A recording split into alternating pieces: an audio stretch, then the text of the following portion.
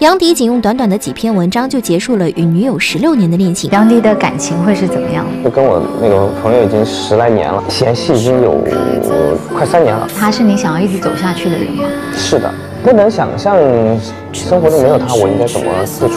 那你还有什么好犹豫？你就赶快就把你的行动拿出来啊！但是由于工作越来越忙，见面的次数会越来越少。你如果再不用行动，还是这样分隔两地的话，你只是在用时间让他走掉了。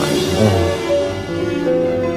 一月二十五日，杨迪在直播间承认与谈了十六年的女友分手。此话一出，杨迪瞬间登上了热搜，广大网友纷纷吐槽杨迪不负责任，让女友苦苦等了十六年，却没能等来一场婚礼，是不是在成名之后就看不上人家姑娘了？杨迪的口碑也一度跌入谷底。他也在某平台发文表示，分手已经有一阵子了，很多人最终会走到婚姻的殿堂，但很遗憾，我们没有。现在的状态就是我俩都过得很好，是真正做到了好聚好散，也是很好的朋友，这是我们理性做出的选择。感情的事情本来就很复杂，望大家未知全貌，不予置评。从这番话中看得出，杨迪对这段十六年的感情似乎已经放下了，没有太多遗憾，和平分手。但很多网友对这段十六年的爱情长跑还是很意难平的。但更多的是网友的质疑，许多网友认为杨迪耽误了女生。如今女生快四十岁了，生育年龄都过了，这个年纪再找男人结婚生子是非常困难的。对此事，杨迪发文回应称，两人十六年一直不要孩子是早年就商量好的，所以一起养了宠物。杨迪还一直在为自己解释没有塌房。网友还认为杨迪和女友分手是杨迪背叛和伤害了女方。十六年的感情不结婚。也不可能和平分手。对此，他也表示，和女友的分手是好聚好散，云淡风轻，并没有受害者，他们的关系早已变成了亲人。虽然现在已经分开，但以后还是亲人。杨迪也表示会在合理的关系内照顾对方一生。诸如此类的疑问也比比皆是。不过，杨迪对这段感情的态度确实挺让人唏嘘的。早年杨迪上小 S 的节目时，就在节目中谈到自己的女朋友。你现在是有女朋友？对，有的是我的同学。二零零六年开始。那，为什么不结婚呢？当时错过一个非常好的时机。两人二零零六年在一起，对方是他的大学同学。小 S 问。他有没有承诺对方会结婚，杨迪说当然有承诺，而且我会规划好很多。但问及为何到现在还不结婚，杨迪却说错过了时机，含糊其辞。小 S 不禁感慨说道：万一最后没结婚，没有娶她怎么办？杨迪肯定的回答：没有这个万一。所以你心里还是打算要娶这个人？对，